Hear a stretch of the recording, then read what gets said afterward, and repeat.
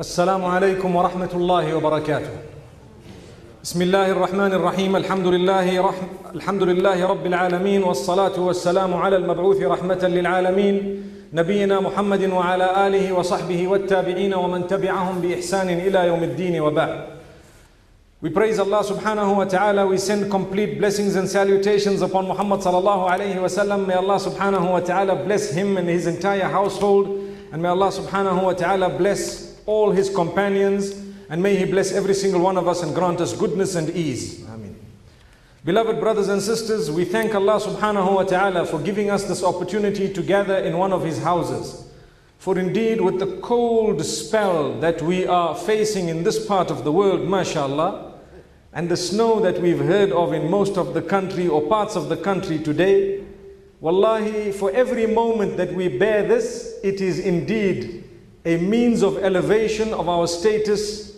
And by the will of Allah, we should be grateful. There are others in other parts of the world who have extremely long fasts, and at the same time, they have the heat of summer on top of it. May Allah make it easy for them as well. And we ask Allah subhanahu wa ta'ala to grant us all acceptance, every single category. May Allah subhanahu wa ta'ala open our doors. The Prophet sallallahu alayhi wasallam and the Battle of Uhud. We had made mention of how the battle took a turn when the Muslims were sandwiched between the little platoon of Khalid ibn al-Walid radiallahu anh. At that time he was not yet a Muslim, he was part of the Mushrik army and the army of Mecca on the other side. And they suffered great losses and we had made mention of that in quite a bit of detail yesterday. A point that came to my mind which I felt would have been of interest was as I had said previously regarding the Battle of Badr, every war, the Prophet ﷺ vetted the people who took part in the war one by one. And he studied their cases. Most of them he would have known them, so it wouldn't require more than a split second. But some of the cases he would ask them questions and thereafter send them back or allow them to join the army. From amongst them were two youngsters. They wanted to take part in the Battle of Uhud. Samurat ibn, in fact, Rafi ibn Khadij and Samurat ibn Jundub radiallahu anhuma. Two young people in their teenage at the time. And uh, the Prophet ﷺ was sending both of them back, but he was told that Rafi ibn Khadij radiallahu anh was very good at his arrows. He could aim very well and he was really, really good uh, in his aiming. So the Prophet ﷺ decided to take him with. And at this point, Samurah ibn Jundub radiallahu anh, who saw that his friend was going and he was being chased back, he began to cry. And he says to his stepfather that, you know, this person, meaning this person, the other companion, is gone. And yet, if the two of us had to fight now, I would out wrestle him. If we had to wrestle, I would put him on the ground in a minute. So when this news got to Rasulullah sallallahu alaihi wasallam, he called him back.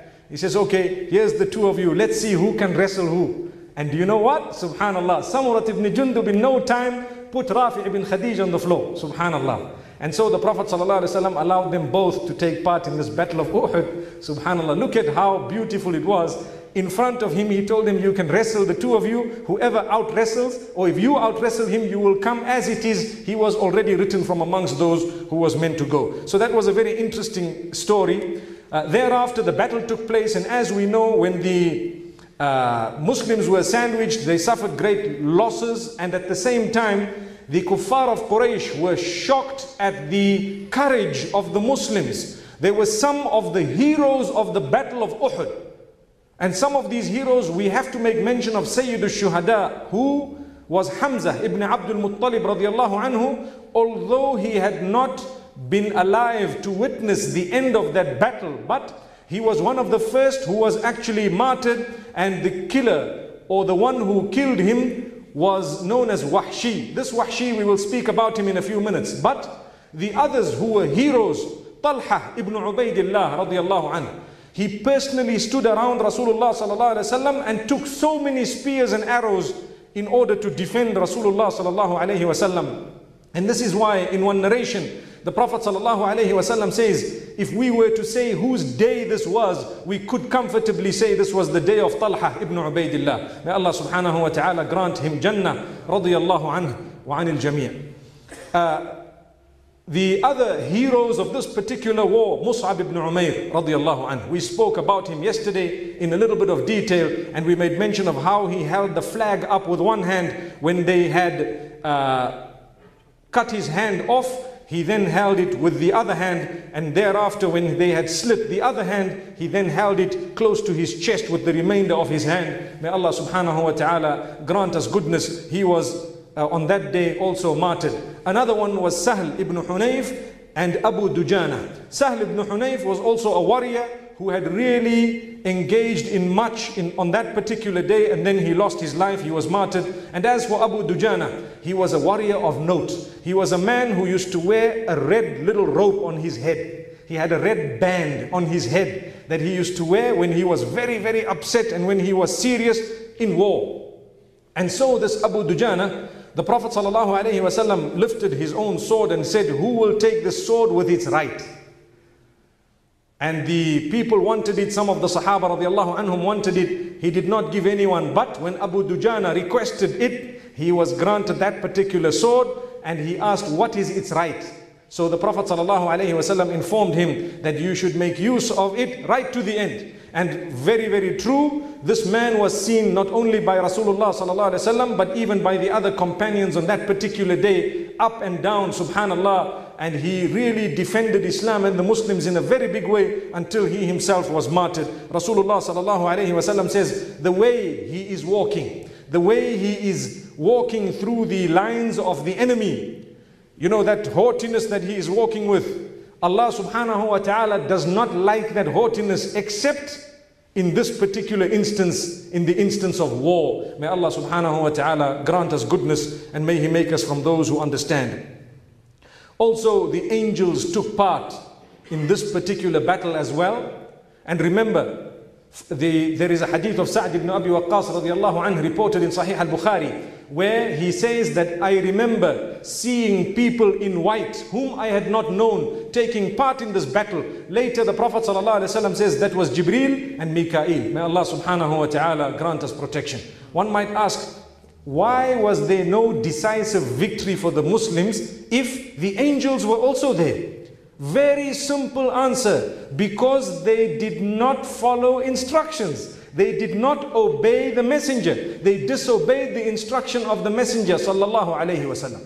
And in our lives, let's remember one thing. Wherever we have disobeyed Allah, and wherever we have disobeyed the Rasul of Allah subhanahu wa ta'ala, we will then be suffering some form of a loss either in the near future or later on unless we repent before it comes to us. Allah does us a favor. In a lot of instances, we are given some reprieve, some time. You know, a person is transgressing, they go against the commands of Allah, Allah gives them some time. And after they are given perhaps sometimes a few days, sometimes a few years, sometimes a longer time, and the person continues transgressing, one day when the rope is pulled, it is pulled completely. May Allah subhanahu wa ta'ala not do that to us and may He not punish us. But if we have repented before the punishment comes, perhaps it will be diverted by the will of Allah subhanahu wa ta'ala. So Allah subhanahu wa ta'ala wanted something to happen on that day and that was a lesson for them. There was no other battle after this where they had suffered this type of humiliation. Always after this, there was some form of victory or Allah subhanahu wa ta'ala had opened their doors even without a battle in some cases. But in this particular case, Allah subhanahu wa ta'ala wanted to strengthen them. To say you should obey instruction. And it is only through the obedience of Allah subhanahu wa ta'ala that you will achieve success in this dunya, in this world, as well as in the life after death. The Prophet sallallahu alayhi wasallam cried when he saw his uncle Hamza ibn Abdul Muttalib. What they had done was mutilated the bodies of a lot of those who were martyred on that day. And astaghfirullah, they brought with them their women in order to do that. So Hamza ibn Abdul Muttalib, Sayyid al-Shuhada, the leader of the martyrs, he, radiyallahu anhu, was mutilated by a woman known as Hind binti Utbah because Utbah was one of those who was killed by Hamza in the battle of Badr this woman was not at all comfortable until she slit his belly. Allahu Akbar. Allah safeguard us. Removed his liver and actually chewed on it. May Allah subhanahu wa ta'ala protect us from this type of gruesome behavior. And may Allah subhanahu wa ta'ala grant us an understanding. The Prophet said very clearly Muslims do not mutilate. You neither mutilate your body whilst you're alive. And this is why permanent tattooing and so on is all prohibited in Islam. To pierce yourself in different places besides the ears and perhaps the nose, after that is not permissible in the Sharia. May Allah subhanahu wa ta'ala protect us from mutilating our own bodies. And may He make us understand what is mutilation in the first place. Because many people don't know. This body is entrusted to us by Allah subhanahu wa ta'ala. He's going to take it back and He's going to ask us, how did we look after it and protect it? How can we say, okay, I made a hole here and a hole there and a hole there and this? May Allah subhanahu wa ta'ala protect us and safeguard us. We've only spoken about something very light. But believe me, the Sharia has deep laws which would actually result if we followed them in our success in this world as well as in the next. May Allah make it easy for us. And this is why Safiya binti Abdul Muttalib, the sister of Hamza radiallahu anhu, she wanted to see the body of her own brother. Now there was a rule that was passed by Muhammad sallallahu alayhi wasallam.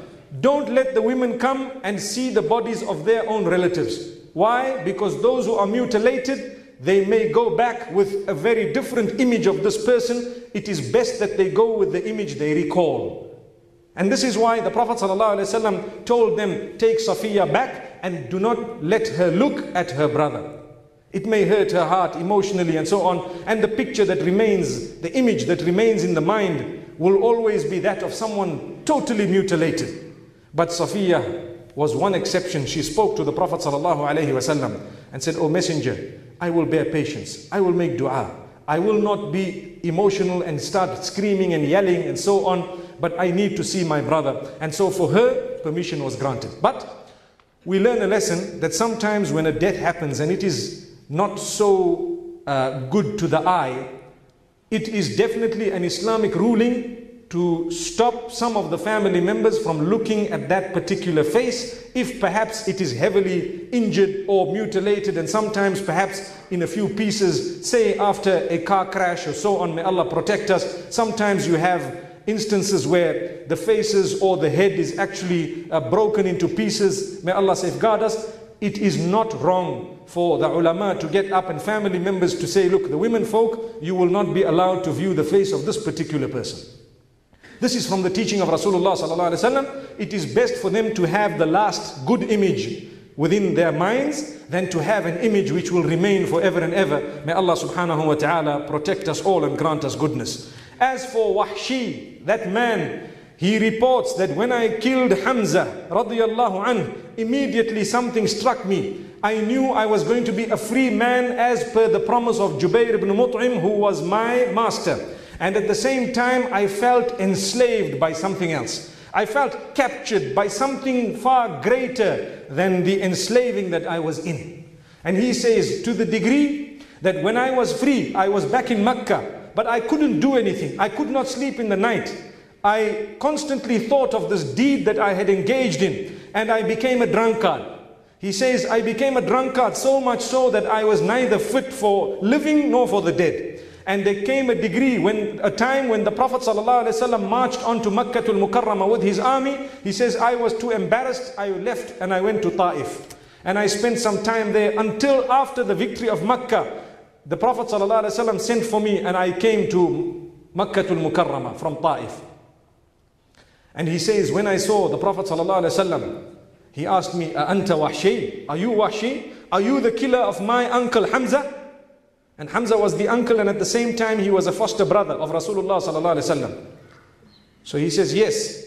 So although Wahshi became a Muslim, the Prophet ﷺ made one request to him. He says, look, if you can stay away from me as far as possible, every time I see you, I remember my uncle. Subhanallah. May Allah subhanahu wa ta'ala protect us. This was one thing. And this is why Wahshi, he says, I lived and I was so indebted to what had happened because I felt so bad until after Rasulullah sallallahu alayhi wasallam, I heard of Musaylama al-Kadhab, the liar who claimed prophethood, Musaylama. He says, and I made a dua to Allah, Ya Allah, I'm joining the army who is going to see this man and attack him. And Allah, make me from amongst those who can execute that liar. And indeed, Allah granted him that. And this is when he felt a little bit at ease when he was used to execute Musaylama al-Kadhab, the liar who had claimed prophethood when the Muslims had gone there to attack him with his army. May Allah subhanahu wa ta'ala grant us protection. So this was Wahshi. Then comes the burial of those who had died in the battle of Uhud. There were approximately 70 Muslims who had been martyred in the battle of Uhud. Most of them were from the Ansar. And the Prophet ﷺ asked, who has memorized more Quran? The one who memorized more Quran was put into the grave first. And each grave had more than one person. Some of them two, some of them three, depending on what was available. Because they could not dig so many graves. And this is why in the Sharia, the grave that you are buried in, we in Islam allow for burial in the same spot some time later. Because once the body has decomposed into the soil, it is now fit for reburial. In our parts of the world, this doesn't happen because I think in most cases you purchase the little piece of land, it becomes yours. But where the maqbara or where the graveyard is waqf, it is an endowment, you find that there is no harm in burying again and again in the same place, perhaps a year, two years, nine years, ten years later, as happens even in Baqi' the graveyard of Madinatul Munawwara. May Allah subhanahu wa ta'ala grant us a deep understanding. So when they were burying, they found a lot of these poor people. Some of them were martyrs in the path of Allah subhanahu wa ta'ala after having fought and served Islam for a long time, such as Mus'ab ibn Umair, when he was brought to be buried. There was nothing to cover him. The Prophet ﷺ issued an instruction. All those who were martyred, there is no washing for them, no ghusl for them. They should be buried in their clothing with the stains of blood they will be resurrected on the day of Qiyamah. The color will be the color of blood and the smell will be the smell of musk. This is what Rasulullah had said. But Mus'ab ibn Umair, when they covered his head, his feet showed. When they covered his feet, his head showed. So they did not have enough to cover him. And the Prophet ﷺ makes mention of something very, very interesting. He says, This was one of the richest of the youngsters of Mecca. And today there is nothing to cover him and he has passed away in this condition. من المؤمنين رجال صدقوا ما عاهدوا الله عليه فمنهم من قضى نحبه ومنهم من ينتظر وما بدلوا تبديلا From amongst the believers there are those who have fulfilled their promise unto Allah subhanahu wa ta'ala. Some of them have been martyred and the others are in waiting. Allahu Akbar. Some of them have been martyred and the others have been waiting. The Prophet ﷺ says, Hamza mimman qada nahbah. Mus'ab mimman qada nahbah. He took names of people. These are the people who have been martyred, fulfilling their promise unto Allah subhanahu wa ta'ala. So Mus'ab ibn Umair, the Prophet ﷺ says, cover his head, and as for his feet, you can use a bit of the idkhir, a little bit of a, a branch that you can actually cover it with, and that is how he was buried. One narration in Zadul Ma'ad makes mention of Hamza ibn Abdul Muttalib with a similar condition. May Allah subhanahu wa ta'ala grant us a deep understanding. Remember, what comes with us in the grave is our deeds, not our wealth, and not what we look like. But what comes into our graves, our deeds, so let us do the best of deeds before it is too late and prepare for the day when we will pass away and meet Allah subhanahu wa ta'ala. On their return, Hamna binti Jahsh radiyallahu anha, she was told that your brother has been martyred. Abdullah ibn Jahsh has been martyred. So she made a dua for him. And she said, may Allah grant us the patience. Then she was told, Your uncle has also been martyred, Hamza ibn Abdul Muttalib. She made a dua for him. And she, she was patient. Then she was told, And your husband has also been martyred, Mus'ab ibn Umair. Then she yelled.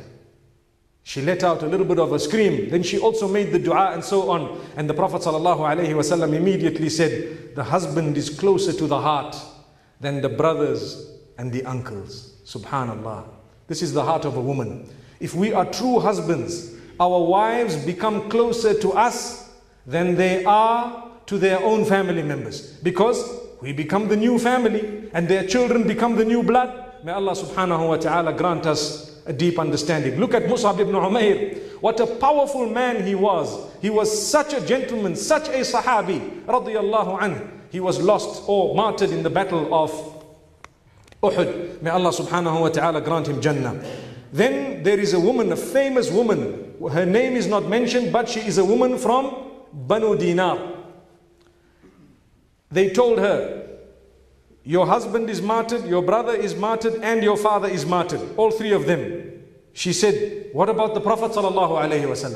Ma fa'ala Rasulullah. What about the Prophet?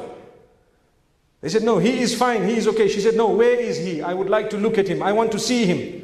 And then they waited for a moment until he came through. When she saw him, she smiled and said, Kullu musibatin ba'dahu hayyina. All difficulties after this are easy. If he is okay, everything else is fine. Subhanallah. This was the response of the Sahabiyat at the time. They were more concerned about Muhammad sallallahu alayhi wasallam than their own family members. May Allah subhanahu wa ta'ala bless them and may Allah subhanahu wa ta'ala grant us goodness. With us, we sometimes become more concerned about sinning than we are about our link with our own maker and our link with Rasulullah sallallahu alayhi wasallam. May Allah subhanahu wa ta'ala protect us. This was not an issue of sinning. If she had cried or if she had wept or if something else had happened in terms of her tears and so on, it wouldn't have been bad. She was worried. Ma fa'ala Rasulullah. First question, leave all that. Tell me about the Messenger sallallahu alayhi wasallam. When they told her he is okay. She said, I want to see him. As soon as she saw him, she says, Kullu musibatin ba'dahu hayyina. All difficulties after this, they are easy, they are light. May Allah subhanahu wa ta'ala grant us ease. The Prophet sallallahu alayhi wa sallam made dua for the families of those who were martyred on that particular day. And Allahu Akbar, the Sahaba radiallahu anhum who had remained behind, they ensured that they looked after the widows and the orphans. And a lot of these widows were married by the Sahaba radiallahu anhum who were left in order to look after them. So much so that even the Prophet sallallahu alayhi wasallam later on married, and we will get to that. May Allah subhanahu wa ta'ala grant us an understanding. They had to look after these women who were left behind. They had to look after the children who were left behind. And the best way to do so was to marry this widow in order for the children to be looked after and for the widow to have some male who will then look after her and be her guardian. May Allah subhanahu wa ta'ala grant us an understanding.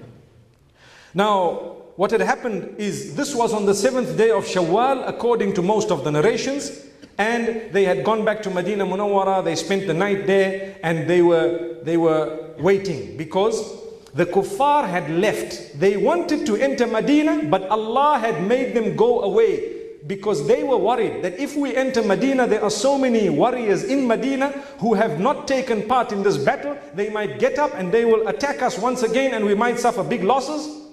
So what happened is they had left. After they left, they got to a certain place and they decided, or they were still deciding. Abu Sufyan was saying, let's go back we want to go back and we want to attack Medina. And Safwan ibn Umayyah, he says, no, don't go. He was a very intelligent man. He says, you see, at the moment, we can consider ourselves victorious. Why should we go and get a hiding? Why should we go back there and risk getting or suffering loss? Subhanallah. So he said, we're not going to go back. However, the Messenger wasallam was already instructed by Allah subhanahu wa ta'ala. 7th of Shawwal, they came back. They had injuries. Some of those injured were still in Medina and so on. He prepared an army the next day. And he said, we need to leave. We need to go out so that these people don't come into Medina Munawwara. If they come into Medina, we're going to have a problem. We're going to have to fight them here on our streets. Meaning in our own suburbs. Rather, we go out. So, Hamra al-Asad, is a place that they got to the following day. The Prophet ﷺ on the 8th of Shawwal went with only those companions who took part in the battle, besides one or two who were granted permission to join them.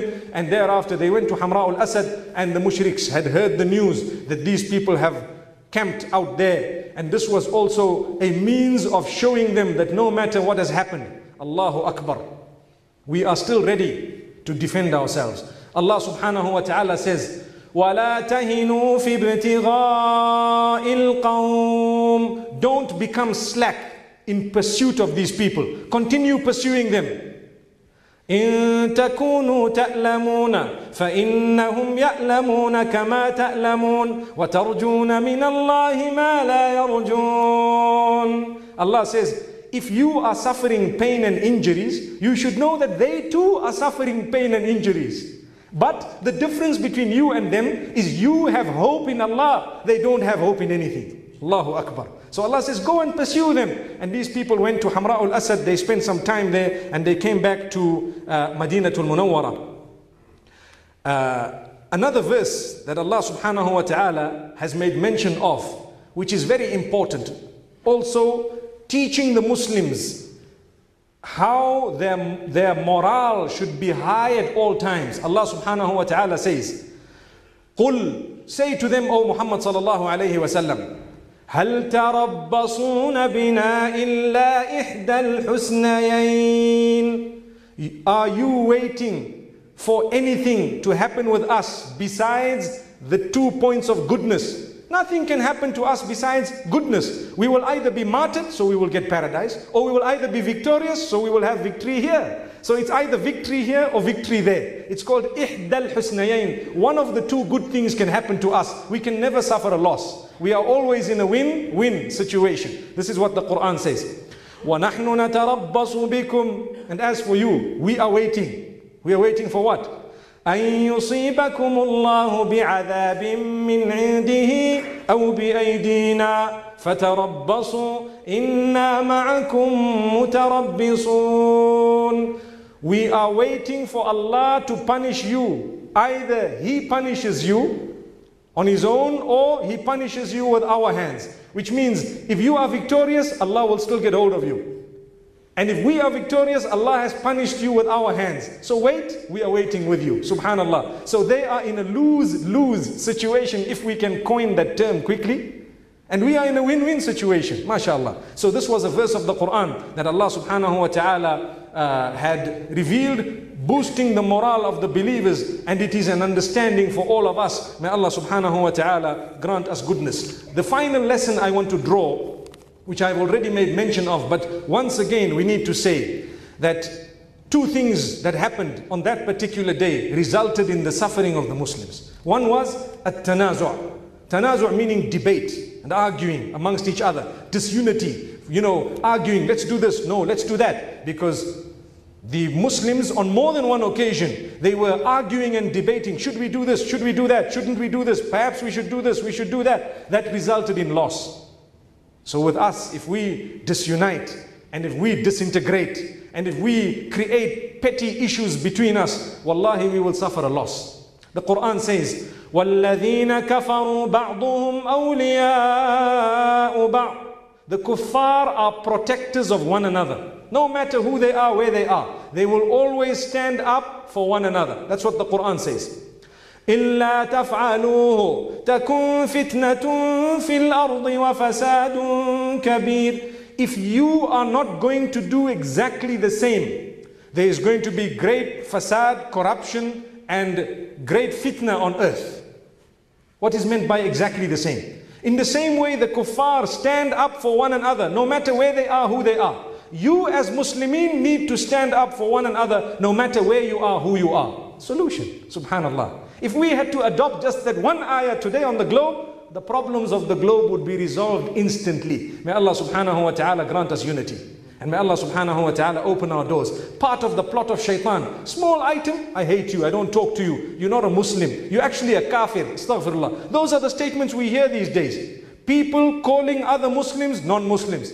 Why don't we realize that that only serves the interests of the enemy. May Allah subhanahu wa ta'ala protect us all and grant us ease and goodness. So that was a point. The second point, we've already spoken about it. Never go against the instruction of Allah and His Rasul. You cannot achieve happiness through the displeasure of the owner of happiness.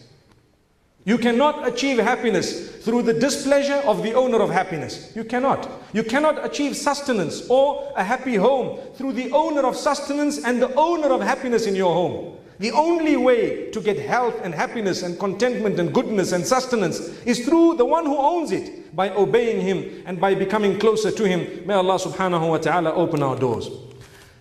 In the third year of Hijrah, the same year that this battle of Uhud took place, the Prophet ﷺ married the daughter of Umar ibn al-Khattab radiallahu anhu, who was the widow of Khunais ibn Hudhafa, as-Sahmi, and this man had been injured in the battle of Badr. According to the most correct narrations, he was injured in the battle of Badr and later on he passed away. And listen to what happened. Umar ibn al-Khattab radiallahu anhu, he went to Uthman ibn Affan radiallahu anhu. Says, Ya Uthman, my daughter Hafsa, I want you to marry her. Look at this. A man coming to his friend and saying, I would like you to marry my daughter, the widow of Khunais. So he looks at Umar ibn al-Khattab anhu and he says, look, I have no intention to get married right now. Answer. Which means he came out of it in a beautiful way. And then he went to Abu Bakr as-Siddiq radiallahu anhu, Ya Abu Bakr, I'd like you to marry my daughter Hafsa, the widow of Khunais. Abu Bakr was silent, no response, no answer.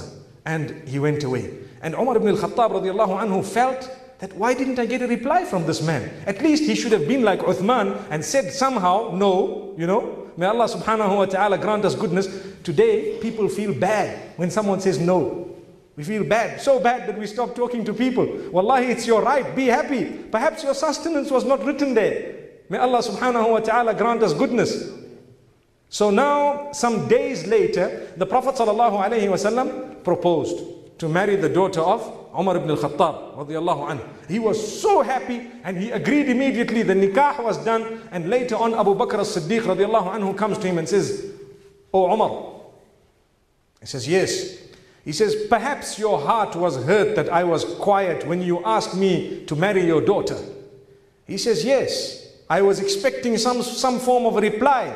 He says, the only reason why I was silent was the Prophet ﷺ mentioned your daughter and I didn't want to release his secret to tell you that, you know what, let the Prophet ﷺ marry her.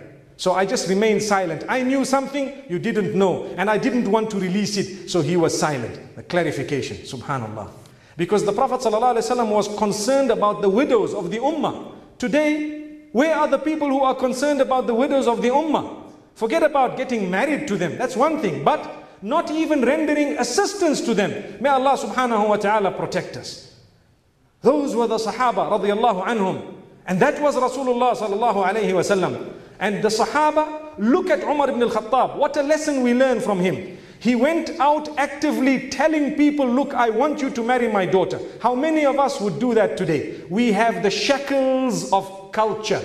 And our daughters and sisters are sitting at home because they are cursed by the curse of culture. So they are not married because it's our fault, not theirs. We did not get up, stand up and look at the young men who come to the masjid, mashallah. Brother, are you married? You're not married. Who is your father? I'd like to speak to him. You know, I've got a daughter. Who's going to know you've got a daughter? Today they have a policy. Let your daughter be naked and go to the mall and everywhere else and go to another person's wedding when she is half dressed so that other people can see her and say, wow, she's so beautiful. I've got a son. The, the seed that is sown is the seed of haram the seed of shaitan. And then we want to get married. In five minutes, there is a talaq and a divorce, and we're back home because we did it the wrong way. Where are the men? Forget about your culture. It is wrong. It is totally in the bin, subhanallah. Wallahi, we suffer because we have left Islam. And that's a fact. And I'm saying it, I have pressed a red button because it's a fact. There are so many of our sisters and, and, and daughters who are suffering out there, and we as men could not even be bothered. We have so many people we meet on a daily basis who are potential husbands for them and we wouldn't talk because why? Our culture says a woman must sit at home and wait for the ceiling to open up and a proposal drops from the top. May Allah protect us. What's that?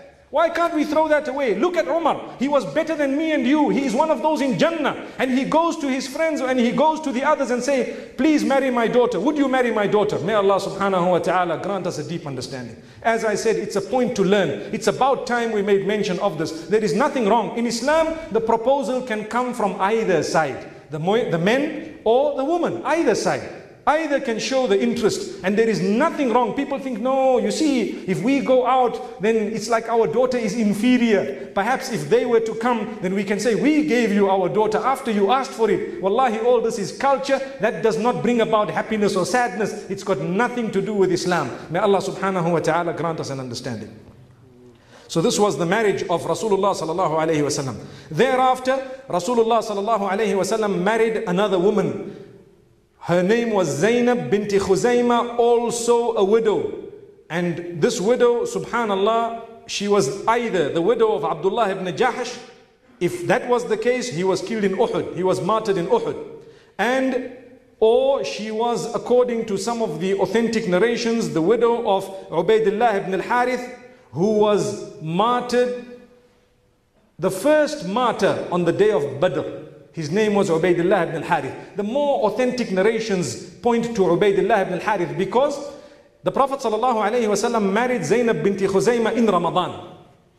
And if that was the case, the Battle of Uhud had not yet taken place. So it couldn't have been Abdullah ibn Jahsh because he was only martyred during the Battle of Uhud. So it was Ubaidullah ibn al-Harith and the Prophet ﷺ proposed for her. She was known as Ummul Masakin. And these women were people who had served Islam from Mecca. And they were people who had served Islam in a huge way. And they were people who had lost their family members. They needed someone as their guardian. And the Prophet ﷺ got up and he showed, laid the example. He proposed for her, Ummul Masakin, the mother of the poor. She used to go and help the poor at all times. And she was a very, very generous person, even though she did not have much of her own. The Prophet ﷺ married her, but the marriage only lasted eight months because she passed away. May Allah be pleased with her. So this was the second wife of Muhammad sallallahu alayhi wasallam to pass away. The first one was Khadija bint Khuwaylid radiyallahu anha. The second one was Zainab bint Khuzayma radiyallahu anha. She was only married eight months and thereafter she passed away. As we said, she was the widow. Uh, she was a widow. In the same year, something very interesting, a gift of Allah subhanahu wa ta'ala, Al-Hasan ibn Ali radiallahu anhu was born and this was the grandchild of Rasulullah sallallahu alayhi wasallam, most beloved to the Prophet sallallahu alayhi wasallam, the son of Fatima binti Rasulullah sallallahu alayhi wasallam and Ali ibn Abi Talib radiallahu anhu. Then also, the same year, the third year of Hijrah, Allah subhanahu wa ta'ala sent the final verses which made alcohol and intoxicants completely prohibited. Now, we pause for a moment. The people of Mecca used to drink a lot. They used to trade in alcohol. Even the people of Medina, they used to drink a lot and trade in alcohol. When we say drunkards, the people used to drink so much that they used to fight. And they used to fight so much that it used to result in so many other difficulties and problems later on when they were sober. So much so that they were drunkards. They used to take alcohol and women out to the wars. As we saw, Battle of Badr, Battle of Uhud, these people brought large amounts of alcohol. Allah subhanahu wa ta'ala safeguard us. So the Prophet ﷺ was given a verse. They asked a question. What is the ruling? What is the ruling on alcohol and gambling. What is the ruling on alcohol and gambling? So Allah says, يَسْأَلُونَكَ عَنِ الْخَمْرِ وَالْمَيْسِرِ O Muhammad sallallahu alayhi wasallam, they are asking you about alcohol and gambling. Why were they asking? They were asking because people like Abu Bakr knew already that this is bad. If it wasn't bad, they wouldn't have asked. Nobody asks me or asks you, can I wear a jacket? It's freezing today, subhanAllah. You'd be wearing the jacket. It's not bad, but now someone can say, no, this is pig skin. Can I wear it? Because automatically something tells you I need to ask a question here. There's something wrong with it, perhaps. So that's why they knew that it causes so much problem. Alcohol and gambling causes so much problem. They asked. So Allah subhanahu wa ta'ala, instead of banning it all at once, making it difficult sometimes for a person who is addicted to it.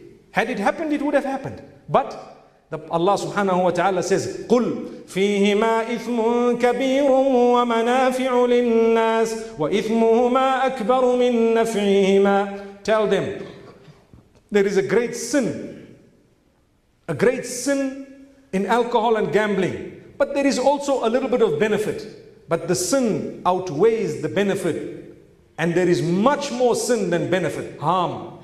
Much more harm than benefit. So, from this, a lot of the companions understood if there is more harm than benefit, we need to stay away from it. So they started staying away from it. Those who were drinking started cutting down and so on. People like Abu Bakr as-Siddiq radiallahu anhu, the narrations make mention of the fact that he never ever drank, even before Islam.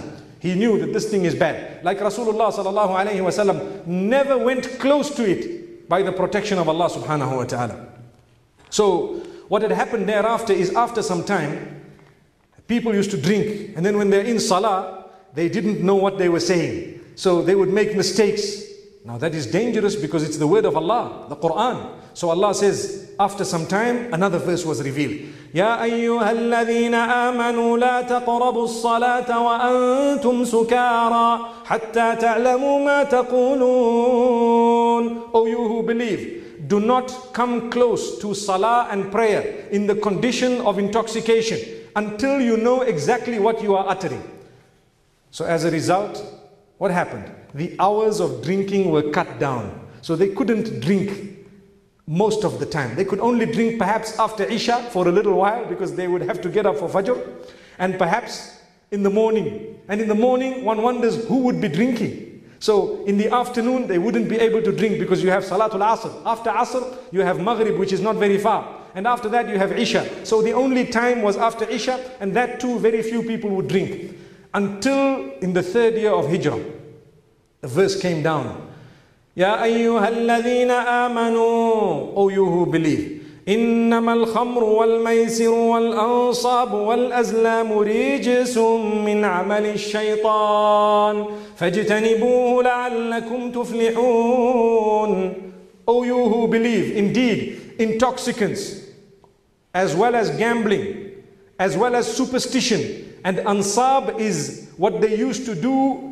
They used to sacrifice some animals in a specific way, which became prohibited. So the superstitions, as well as the ansab, azlam, and alcohol and drinking, this is abomination from the handiwork of the devil. So stay far from it in order that you may succeed. That became prohibited. It became prohibited. Some people say, where is the prohibition of alcohol in the Quran? If Allah tells you stay far from it, it means it is worse than the ordinary sin. Just like adultery, Allah says, وَلَا تَقْرَبُوا الزِّنَا Don't even go close to it. That doesn't mean it's not prohibited. It means even to get close to it is prohibited.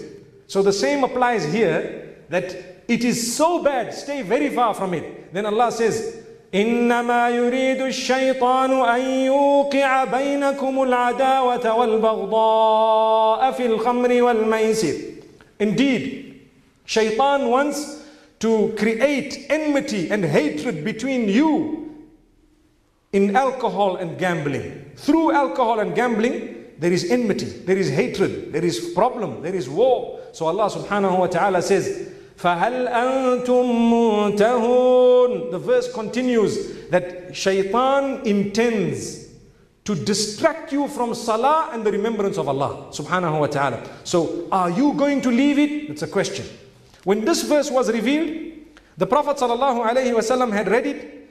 The caller went out calling people, Allah innal khamra qad hurrim. He called out, Behold, alcohol has been made prohibited. Alcohol has been made prohibited. It is reported that the gullies of Medina were flowing with alcohol which people threw out as a result of listening to a caller calling the instruction of Allah that alcohol is prohibited.